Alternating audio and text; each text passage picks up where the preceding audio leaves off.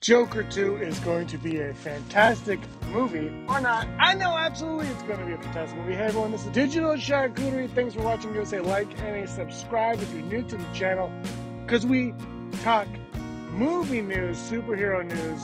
Coming up in April, we're going to have Super Tuesday. It's going to be making its triumphant return. That will be 8:30 p.m. Eastern Time on this channel. Live superhero talk.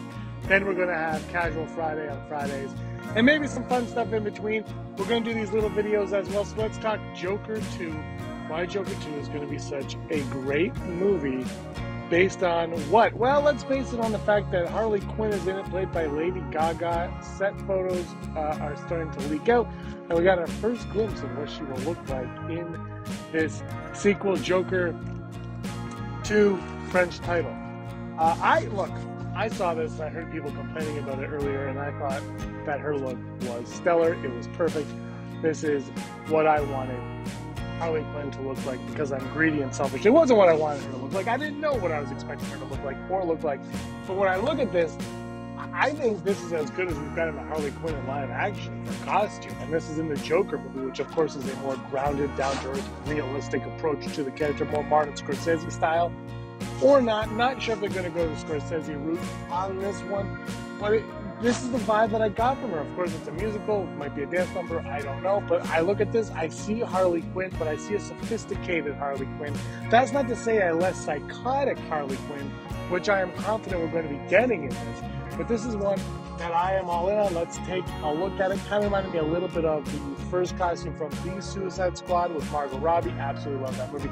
Can't wait for this one. Joker 1 was phenomenal. I have no reason to believe that Joaquin Phoenix would sign off on this if this one also wasn't shaping up to be phenomenal. Now, I know people started hating Todd Phillips because of things he said about comedy. I, whatever. I don't even know what he said. I'm not going to pretend to know what he said. But the first movie was great.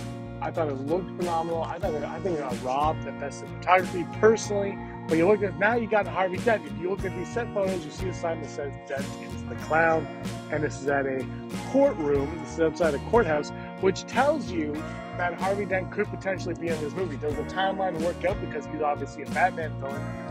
More along the lines, I think the Joker is too, but Batman is not going to be old enough in this movie uh, I don't think they're making that big time jump, and I don't know. I wouldn't suspect Batman being in this because then you get Batman in this, you have Batman in the Batman, and then Batman in the James Gunn Batman movie, which is just too much Batman. And we heard that they are going to have four Batman on the screen at the same time. So I would suspect that Batman will be not be in this movie, but Harvey Dent will be. But will Harvey Dent be Two Face? Will he turn into Two Face? And I think all signs would ultimately point to no. But, however, I do want to bring up an argument for it possibly happening.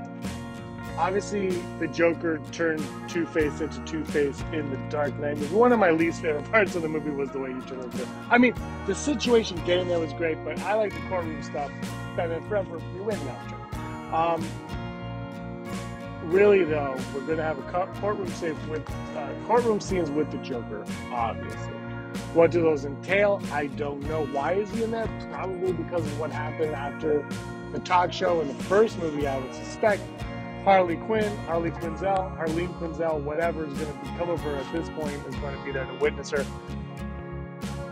But the reason why I think Harvey Dent could transform into Two Face in this. Not saying it's a guarantee or anything, and I part of me doesn't believe it happened either, but why it could happen is the first movie featured Thomas Wayne heavily. And I never suspected going into the movie that I would see this, and I afterwards we did, and that it was the murder of Tom, Thomas, and Martha Wayne. That happened in that movie. Now we're gonna obviously get Joker, then we get then we get Harley Quinn in this is there room for a third one? Well, let me bring this to your attention as well. The second comic book movie, for whatever reason, always features two villains. And obviously, this is a villain centric one, so blah, blah, but you know what I mean. So the fact that you would get Harley Quinn and a Two Face, very plausible to me. And the fact that it's in a courtroom, Joker could pull the punches on that somewhere along the line. We don't know where it's going. Look, it's not set in stone.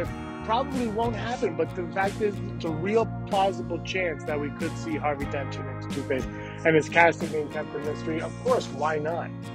Why not? Don't let that stuff leak. Let us be surprised. The off chance, the reality is Harvey Dent's probably not even in this movie, and that's just assigning some extra brought to the set.